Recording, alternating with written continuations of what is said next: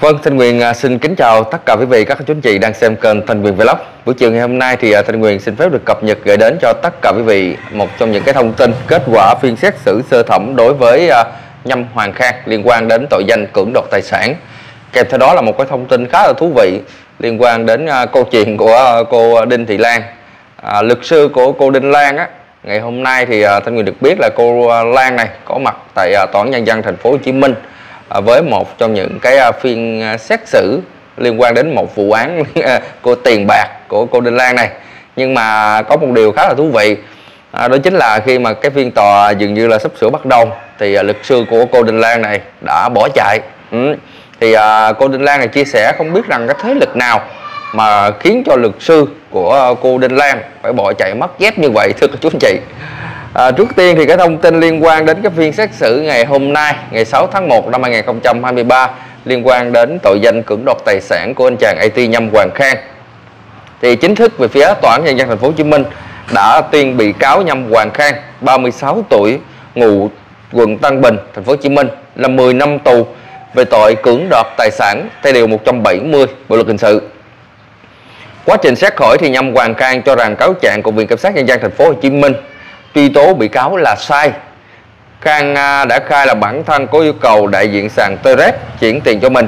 Nhưng đây là thỏa thuận giữa các bên khi bị cáo đã cung cấp được những lỗi và lỗ hổng của sàn Terex Theo hội đồng xét xử thì bị cáo Nhâm Hoàng Khang không thừa nhận hành vi phạm tội của mình. Tuy nhiên, dựa vào lời khai của bị cáo, lời khai của bị hại, người làm chứng và các tài liệu có trong hồ sơ vụ án thì hội đồng xét xử đủ căn cứ để kết luận Nhâm Hoàng Khang có hành vi đe dọa nhằm chiếm đoạt số tiền 291 triệu từ chủ sàn TDS thưa quý vị.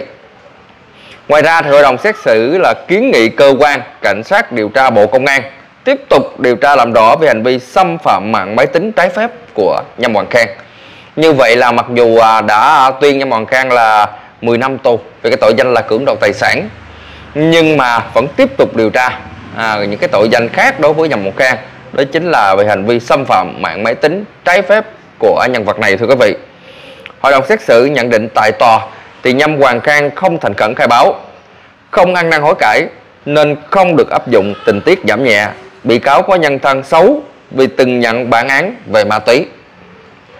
Trước đó thì lời nói sau cùng à, khang đã trình bày bản thân là người hành nghề về công nghệ thông tin à, chuyên dò và phát hiện lỗi hệ thống của các công ty trang web và từng phát hiện sửa lỗi cho nhiều đơn vị.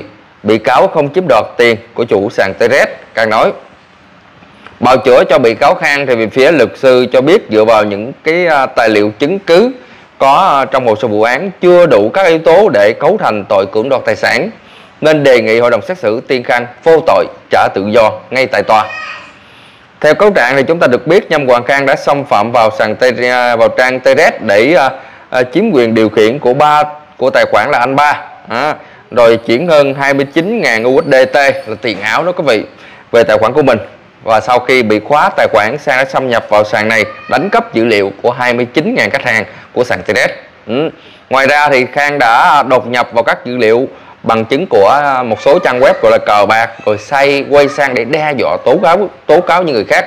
Bên cạnh đó đó thì à, được biết thì à, Nhâm Hoàng Khang thì đã đột nhập vào một số những cái tài khoản cá nhân rồi quấy rối và đe dọa người khác. À, đặc biệt thì trong đó có một số người đã kiện Nhâm Hoàng Khang nhưng đến giờ phút này thì dường như những cái đơn kiện đó mặc dù đã được rút lại nhưng mà về phía à, à, Bộ Công an hội đồng xét xử vẫn yêu cầu về phía bộ công an vẫn à, tiếp tục điều tra làm rõ những cái hành vi xâm phạm mạng máy tính trái phép của nhân bọn khang để mà tiếp tục à, xét hỏi cũng như là luận tội đối với cái nhân vật này thưa cô chú anh chị. À, như vậy thì chúng ta được thấy rằng là cái phiên à, sơ thẩm này đã tuyên án nhân bọn khang là 10 năm tù về tội cưỡng đoạt tài sản. Nhưng chúng ta được biết là nếu mà trong thời hạn nhân bọn khang thì vẫn có quyền gọi là kháng cáo. À, với cái, à, cái tội danh này. Nhưng mà thanh quyền đánh giá rằng với cái tội danh nó quá rõ ràng rồi thuộc của chú anh chị không thể nào chối cãi được nữa. Bên cạnh đó là là trong hoàng can có một cái uh, gọi là cái à, quá khứ cũng không hề tốt gọi là nhân thân nhân thân không tốt đâu quý anh chị. Sử dụng những cái chất cống cho nên là với cái tội danh này thì 10 năm tù đối với nhâm hoàng khang là cái mức gọi là chung thôi. Bởi vì cao nhất nó lên đến 12 đến 15 năm lận thưa cô chú anh chị thì à, chính thức đã tuyên án anh chàng IT Nhâm Mồng Khang này xóa bỏ một trong số những cái lời đồn à, liên quan đến câu chuyện rằng là có liên quan đến CEO Nguyễn Phương Hằng hay không. Thì à, tiếp theo cái thông tin mà khá là thú vị à, trong à, buổi chiều ngày hôm nay đó thưa quý vị. Đó chính là cái câu chuyện của cô à, Đinh Thị Lan. Ngày hôm nay thì à, cô ấy có mặt tại tòa án nhân dân thành phố Hồ Chí Minh để mà theo một trong những cái vụ kiện tụng liên quan đến tiền bạc. Thì chúng ta có thể thấy là cô này dường như là rất rất rất là thích kiện tụng thưa quý vị và dường như là trong một năm thì cô ta tham gia rất nhiều những vụ kiện khác nhau. Mới ngày hôm trước thì tuyên bố thua ba vụ kiện rồi. Cũng liên quan đến khiếu nại đến tiền bạc rồi đất đai rồi những cái sản phẩm mà cô ta là là gọi là đại diện pháp lý gì đó. Ừ. ngày ngày hôm nay cô ta tiếp tục theo một trong những vụ kiện liên quan đến tiền bạc nữa. Ừ. thì chúng ta có thể thấy là một cái nhân vật mà suốt ngày dính líu đến vấn đề mà pháp lực và khiếu nại rồi tiền bạc. Thì cái mức độ gọi là có lừa đảo hay không rồi. À, có câu chuyện lừa đảo hay không khi mà lúc nào thì cô ta cũng có liên quan đến những cái vụ kiện liên quan đến tiền bạc hết. Ừ. cô này có thể nói là một người rất là khôn ngoan xảo quyệt. Rất là xảo quyệt nha cô chú anh chị. À, và ngày hôm nay thì có một điều khá là thú vị đó chính là luật sư của cô Đinh Lan. Đã à, từ chối và bỏ chạy à, trước khi diễn ra phiên tòa. Thì chúng cho chúng ta có thể thấy rằng là cái lý do đặt ra ở đây là tại sao vị luật sư này à, lại bỏ chạy. Theo cô Đinh Lan đó cô nói rằng có một thế lực nào nó liên quan đến bà Nguyễn Phương Hằng hay như thế nào đó mà tại sao luật sư khiến luật sư của cô gọi là bỏ chạy? Và hiện tại thì cô vẫn chưa công bố danh tính. À, để khi mà cô gọi là làm việc xong đi rồi cô sẽ công bố danh tính của vị luật sư này trên mạng xã hội.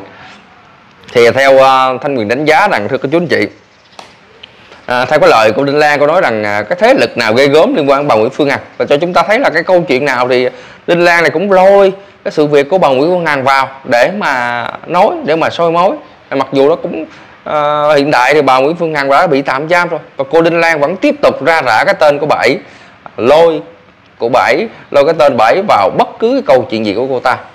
Rõ ràng đây là một à, cái sự việc mà gọi là búa phim à, mượn cái danh tiếng của một người khác để à, đẩy cái à, danh tiếng của mình lên. À, rõ ràng à, không thể nào chối cãi. Còn bên cạnh đó cái lý do tại vì sao mà cái vị luật sư này phải bỏ chạy? À, mà nghe nói là cô Đinh Lan này thưa cô chú anh chị là một trong những người cũng gọi là học luật và rất là gành luật và sắp sửa làm luật sư gì đó. Thì tại sao phải cần phải là thuê mướn luật sư cho bản thân mình? Tại sao mình không tự ra mình cãi đi? À, lên mạng xã hội thì cô thầy cô này cũng cãi khá là hay đó cô chú anh chị. lý sự cùng. Nhưng mà cuối cùng thì luật sư cũng đã là bỏ chạy. Thì thanh quyền đánh giá rằng thứ nhất đó thì luật sư đã phát hiện ra một trong những cái điều khá là à, bí mật của cô Đinh Lan này. À, đó chính là chuyên đi lừa đảo. Và họ thấy trong cái sự kiện này thì à, à, cũng có khả năng là không thắng được. Nhưng mà đã là một luật sư đó thì nếu như đã nhận rồi thì sẽ cố gắng hết mình. Dù thắng hay dù, dù thua thì cũng phải làm hết mình à, và cái lý do mà khả quan nhất đó là khi mà phát hiện ra cô Đinh Lan này một trong những người gọi là lừa đảo. Và thậm chí là không rõ ràng về, về cái vấn đề gọi là tiền bạc đối với luật sư hay chăng à, bởi vì cô ờ, Đinh Lan này ờ, cô chú anh chị chúng ta có thể thấy là có cái gọi là cái quá khứ là lừa đảo xuyên quốc gia rồi là lừa từ Lào sang Việt Nam mà nhất là, là rất thích lừa những người đàn ông ừ. bởi vì ờ, cô ta gọi là luôn trưng diện và gọi rằng là phe mẻ mình trên hình ảnh à, thân thể của mình trên lên trên không gian mạng. À, cho rằng mình là một cô gái gọi là rất là ngoan hiền. Nhưng mà trên thực tế đó thì chúng ta có thể thấy đây là một cái chiêu bài à, để mà chiêu dụ gọi là những người đàn ông mà à, để mà sập bẫy cô ấy à, cho nên là những cái vấn đề liên quan đến cái câu chuyện à, tiền bạc của cô này đều tất cả đều đa số là liên quan đến đàn ông à, à, cho nên là cái à, vị luật sư này thanh quyền đánh giá rằng là phát hiện ra một trong những cái chiêu trò gì của của cô đinh lan này nữa rồi. Cho nên là tốt nhất à, 36 kế chuồn là thủ sách. Không biết là ngày hôm nay đó thì à, diễn biến cái phiên tòa của cô đinh lan như thế nào thì à, thanh quyền cũng sẽ cập nhật sau để mà gửi đến cho cô chú anh chị à, xem rằng cái phiên tòa liên quan đến tiền bạc của đinh lan à, có diễn ra tốt đẹp như cái à, sự mong muốn của đinh lan hay không khi mà luật sư của đinh lan đã bỏ chạy bỏ của chạy lấy người rồi. À, không có dám làm à, bào chữa cho đinh lan nữa. Chúng ta có thể thấy là rất là nhiều người là đ, họ làm bạn bè rồi kết thân thậm chí là giúp đỡ à, đinh lan. Nhưng mà khoảng thời gian thì họ lại bỏ chạy hết. Vì chúng ta có thể hiểu được cái bản chất của cô này như thế nào. Lý tại vì sao mà cô ta không chơi được với ai cả? Ai ai cũng đều bỏ chạy. Nào là trần văn sĩ nào là thanh trần trước đây. À, cũng từng kết rất là thân. Và hứa hẹn là sẽ gọi là Ờ, bào chữa rồi cho lẫn nhau. Nhưng mà cuối cùng vẫn chạy và thậm chí là cô thanh trần ừ, quay lại vạch mặt lô đinh lan là một con nhỏ gọi là lừa lừa lọc ừ, ba xạo và nổ. Đó là một trong những cái người gọi là tiếp cận. Mặc dù chúng ta có thấy là thanh trần cũng gọi là khá là nổ đó. Nhưng mà khi gặp đinh lan còn phải sợ các chú anh chị còn phải bỏ chạy của bỏ của chạy lấy người và phải uh, Ừ. phải nói đinh lan là một con nhỏ gọi là ba xạo và nổ à, cả hơn cả bản thân cô, cô thanh trần này. Ừ, thì quý vị có thể thấy là cái mức độ à, của đinh lan là sẽ nó cao tay ấn như thế nào rồi hơn cả thanh trần. Cho nên là luật sư đó rất là khó làm việc. Ừ, à, với Đinh Lan cho nên đã bỏ chạy. Thanh Nguyên còn biết thêm một cái thông tin đó, là một từ phía luật sư mà trước đây đã từng giúp Đinh Lan trong cái vụ Mai Xuân Cường. Mà rất tiếc đó không biết vì sao thì vị luật sư này đã qua đời thưa cô chú anh chị. À, đó là ông Lê uh, ông Lê Văn à, Lê Xuân Lê Xuân Vĩ. Ở uh, đoàn luật sư à, thành phố Dĩ An thì phải thưa cô chú anh chị. Thì không biết lý do gì nhà thay Thanh Nguyên được biết là lý luật sư vĩ này đó trước đây là bị bị bệnh tật gì đó cô chú anh chị. Và sau khi giúp đỡ đinh lan thì ông ấy bỗng nhiên qua đời đột ngột. À, thanh huyền cũng có rất là nhiều lần trao đổi và nói chuyện với ông ấy à, do chính ông ấy đã liên lạc. Lúc đó à, thanh Nguyên còn làm trên kênh lang thang đường phố thưa cô chú anh chị và đã từng nói chuyện rất là nhiều lần. À, lúc đó thanh Nguyên còn à, có một số cái đoạn ghi âm mà chia sẻ những cái à, những cái câu chuyện của cô đinh lan cùng với luật sư của mình liên quan đến cái vụ án mai xuân cường. À, thì luật sư vĩ cũng chia sẻ đinh lan nó rất là láo xạo à, À, chẳng mà chẳng qua là anh là luật sư. Thì khi mà anh nhận cái sự việc của thân chủ rồi thì cố gắng hết sức để giúp thân chủ thôi làm xong cái sự việc đó thì à, cũng không có liên quan gì đến Đinh Lan nữa. Mấy anh à, anh anh Vĩ anh còn nói rất là rõ ràng ừ, lần sau mà Đinh Lan có nhờ giúp nữa thì cũng chẳng bao giờ giúp. À, ăn cháo đá bát là rõ ràng cái cô Đinh Lan này thưa cô chú anh chị. Thì đó thì ngày hôm nay thì à, Thanh Huyền cũng sẽ cố gắng cập nhật những cái tình hình những cái thông tin mới nhất liên quan đến cái câu chuyện của Đinh Lan để mà cho quý vị chúng ta tiện theo dõi. Không biết rằng cái diễn biến ngày hôm nay phiên tòa của Đinh Lan là như thế nào ừ, à, liên quan đến cái vấn đề gọi là tiền bạc tài chính thôi. Đinh Lan thì chỉ có bao nhiêu đó thôi cô chú anh chị rồi đó là một số cái thông tin mà ngày hôm nay Thanh Nguyên à, cập nhật gửi đến cho tất cả quý vị. Xin cảm ơn quý vị rất là nhiều. Mong là cô chú anh chị khi mà xem video đó thì cho em xin một like một đăng ký một chia sẻ giúp kênh em có thể à, phát triển hơn. À, còn bây giờ xin kính chào và hẹn gặp lại. Vâng, cuối phần video ngày hôm nay thì em muốn giới thiệu đến tất cả cô chú anh chị hai sản phẩm là một trong những đặc sản của vùng quê hương Bạc Liêu cũng như là Cà Mau. Trước tiên đó chính là trà bông tôm 100% được làm từ à, con tôm đất à, thiên nhiên chứ không phải là tôm nuôi nha cô chú anh chị. Thì à, chúng ta được biết là trà bông đó thì à, chúng ta ăn cùng kèm với xôi nè, với à, cháo trắng nè hoặc là với cơm thì cực kỳ ngon. Thì à, bảo đảm cho cô chú anh chị đây là 100% được làm từ con tôm đất thiên nhiên. À, và một à, keo em em đang cầm trên tay đó thưa quý vị là nửa ký nửa ký là 800 ngàn. À, một ký là một triệu sáu nha. Còn à, đây là một trong những cái sản phẩm mà em đã bán à, được rất nhiều. Đó chính là mật ong rừng nguyên chất 100% thiên nhiên được lấy từ rừng tràm U Minh Cà Mau nha quý vị. À, một chai em đang cầm là nửa lít nửa lít là 750 ngàn một lít là một triệu rưỡi miễn phí ship toàn quốc cho tất cả quý vị khán giả.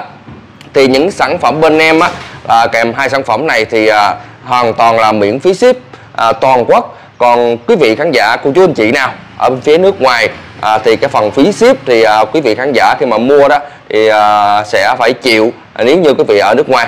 Rất mong cô chú anh chị đó hãy à, ủng hộ cho những cái sản phẩm của bên em. Mật ong rừng nguyên chất cũng như là trà bông tôm. Xin cảm ơn cô chú anh chị rất nhiều.